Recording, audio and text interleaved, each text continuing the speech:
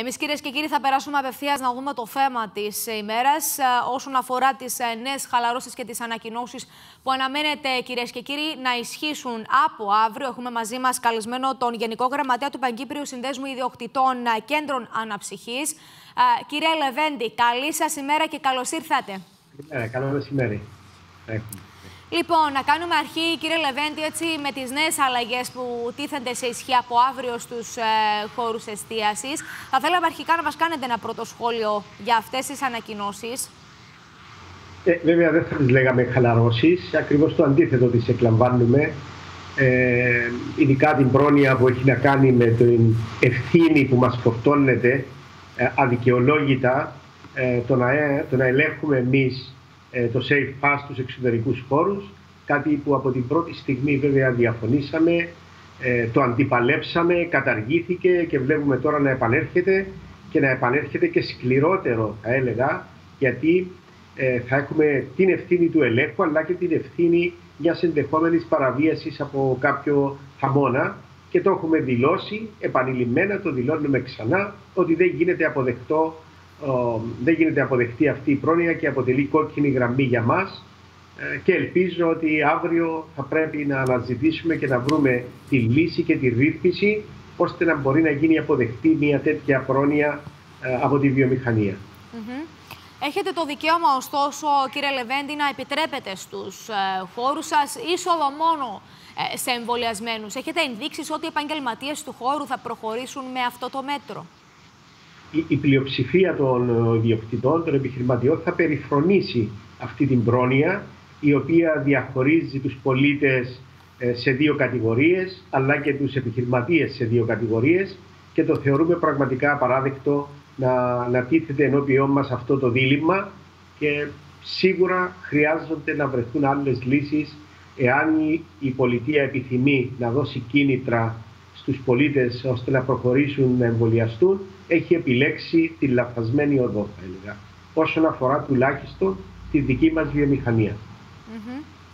Έχετε την ίδια ώρα έτσι, και το δικαίωμα, όπως αναφέρουν, να ελέγχετε και το Safe Pass. Πώς το σχολιάζετε αυτό; Αυτό δεν είναι δικαίωμα, είναι υποχρέωση την οποία μας επιβάλλουν χωρίς να διαβουλευτούν μαζί μας, χωρίς να συζητήσουμε τις άπειρες δυσκολίες, τις πρακτικές δυσκολίες που υπάρχουν για να ελεγχθούν χώροι εξωτερικοί οι οποίοι δεν έχουν καν είσοδο ε, και δεν μας έχουν πει βέβαια και με ποιο τρόπο θα γίνεται αυτός ο έλεγχος, αν θα ρωτούμε μόνο, αν θα ζητούμε να μας το παρουσιάζουν, σε ποιους θα το παρουσιάζουν.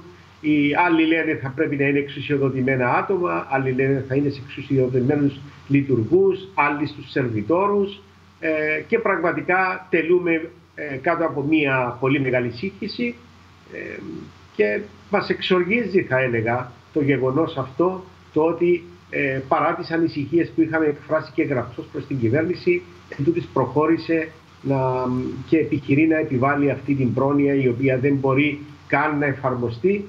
Και το πιθανότερο είναι ότι θα επιφέρει χειρότερα αποτελέσματα από αυτά τα οποία επιχειρεί η κυβέρνηση να, να κερδίσει. Από ό,τι θυμόμαστε και παλαιότερα, κύριε Λεβέντη, όταν είχε προκύψει αυτό το θέμα με τα safe pass ή με τα ε, rapid test για να ελέγχονται από τους ε, ιδιοκτήτες, που, όταν δεν είχε συγκεκριμενοποιηθεί ότι θα ελέγχονται από λειτουργούς, είχε προκύψει ένα πολύ μεγάλο ζήτημα όσον αφορά αντιλαμβάνεστε ότι έχουμε να κάνουμε και με προσωπικά στοιχεία των ανθρώπων που δεν μπορούν να εκτίθενται κατά αυτόν τον τρόπο και να ελέγχονται, για παράδειγμα, από τους, είτε από τους ιδιοκτήτες είτε από τους ε, σερβιτόρους. Και τότε είχαν ε, διασαφηνίσει ότι ε, αυτά, αυτά τα προσωπικά στοιχεία θα ελέγχονται από τους αρμόδιους. Τώρα δηλαδή θα αλλάξει, θα αλλάξει αυτό.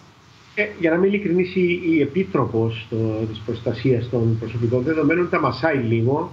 Ε, φαίνεται ότι τις έχουν θυμώσει. Ε, την μια ακούμε κάτι άλλο, την άλλη ακούμε κάτι άλλο.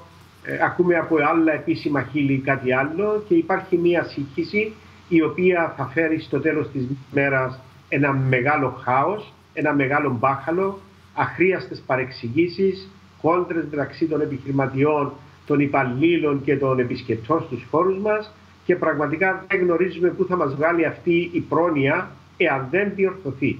Ε, η βιομηχανία όμως δηλώνει ότι δεν ε, θα ασκήσει αυτούς τους ελέγχους και δεν είναι ούτε και δουλειά μας, ούτε και μπορούμε να σηκώσουμε ένα τέτοιο βάρος μιας τέτοιας ευθύνης. Αυτό θα πρέπει να το κατανοήσει η πολιτεία και να αναζητήσουμε μαζί να βρούμε εκείνους τους τρόπους που θα είναι εφικτοί, εφαρμόσιμοι για να μπορούν να γίνουν και αποδεκτοί από τη βιομηχανία γιατί στο τέλος της μέρας όλοι νοιαζόμαστε για τη δημόσια υγεία, όλοι νοιαζόμαστε να ελέγξουμε την πανδημία, απλώς προσεγγίζουμε με ένα πολύ διαφορετικό φακό τα πράγματα και κάποιοι οι οποίοι έχουν προστρέξει για να μας χαρακτηρίσουν ανεύθυνους σε σχέση με τα μέτρα τα οποία έχουμε πρόθεση να πάρουμε, να πω ότι είναι καλύτερα να κοιτάξουν τα του οίκου τους και να μην μας κουνούν ούτε το δάχτυλό τους, γιατί αν αρχίσουμε να λέμε ονόματα για το που παραβιάζεται το πρωτόκολλο, τότε δεν θα ξέρουν πού θα κρυφτούν.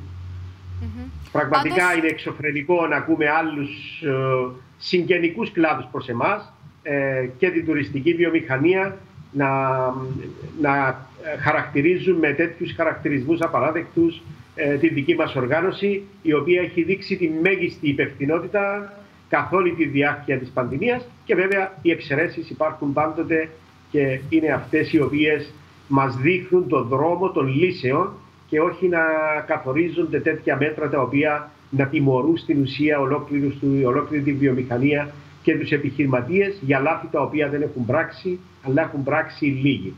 Mm-hmm. Πάντως, σύμφωνα και με τα όσα δηλώνουν, κύριε Λεβέντη, αρμόδιοι, φαίνεται οι αλυσίδες μετάδοση να δημιουργούνται από κυρίως από τους χώρους διασκέδασης. Παρατηρείτε χαλάρωση πρωτοκόλλων, είτε ακόμη και χαλάρωση του κόσμου; Να σας πω, από την αρχή έχουμε ζητήσει την αυστηρή επιτήρηση και έλεγχο για εφαρμογή του πρωτοκόλλου. Να νιώθουν οι επιχειρηματίες ότι είναι όλοι ίσοι έναντι ε, του νόμου, να, νιώσουν, να νιώθουν ότι δέχονται ακριβοδίκαιη αστυνόμευση και ελέγχους. Ε, από την άλλη όμως, τα αποτελέσματα τα οποία βλέπουμε ε, δείχνουν ότι έχει επέλθει μια χαλάρωση την οποία έχουν εκμεταλλευτεί ορισμένοι χώροι, οι οποίοι είναι πολύ λίγοι και τους γνωρίζουμε όλοι παγκύπρια ε, και θα έπρεπε να επικεντρωθεί η πολιτεία στους χώρους αυτούς και να λύσει τα προβλήματα ε, εκεί όπου παρουσιάζονται και να μην επιχειρεί με ένα τέτοιο τρόπο ε, τιμωρητικό θα έλεγα περισσότερο ε, να κάνει μια προσπάθεια ελέγχου της πανδημίας γιατί μάλλον προς την επιβολή του εμβολιασμού κινείται το πνεύμα παρά προς τον έλεγχο της πανδημίας.